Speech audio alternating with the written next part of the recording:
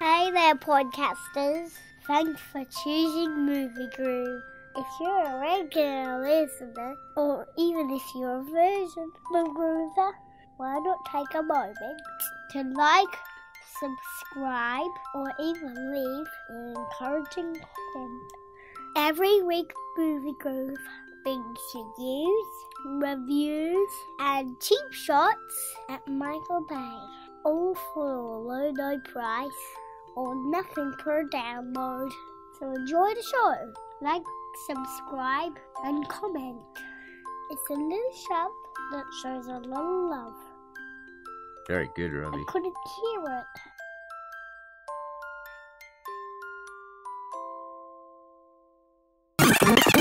I would like to give a shout out to our employer, Freddy the Turk. Freddy the Turk. Freddy the Turk, people are safe when near him. Freddy the Turk, only the evil fear him. Softness in his eyes, iron in his thighs, virtue in his heart, and fire in every part of the mighty Freddy the Turk. Now, we here at Movie Groove tend to lionize our boss, Freddy the Turk, uh, every now and again. Uh, he's a mighty man, and if you want proof, there is actually a documentary that's coming out soon about the life um, and the legend that is Freddy the Turk. In fact, the movie is called The Legend of Freddy the Turk.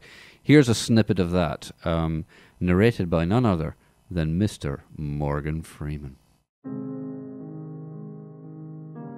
Freddy the Turk was born on a mountaintop. And, uh, well, just as the gypsy woman had prophesied, he was indeed a son of a gun. Raised by wolves, Freddy grew to manhood in a little under a year, and soon captured the attention of the ladies. But it wasn't long before he had tasted of each one of them, and after fathering every person who lives in the area we now call the Northern Hemisphere, he set out, as he said at the time, to make a real difference in the world.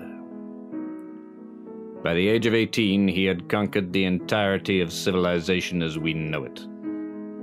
Almost the first human being to walk on the moon, Freddy graciously stepped aside to hand the honor to some guy called Neil Armstrong, who screwed up the line that Freddy had made up for him. Unperturbed, Freddy flew back to Earth all by himself, stopping only briefly along the way to rescue some Russian cosmonauts and hand rear an orphaned tiger cub to adulthood. On returning home, after a brief rest, he then discovered the vaccine for polio. Now 23, while idly breaking the sound barrier at the summit of Mount Everest, Freddy looked down upon the world as God watched him in awe, wondering at what he might not do next. But when Freddy the Turk saw the breadth of his empire and beheld that there was no more left to conquer, he did not weep like a little girl as Alexander the Great had done and instead decided to invent the medium of radio.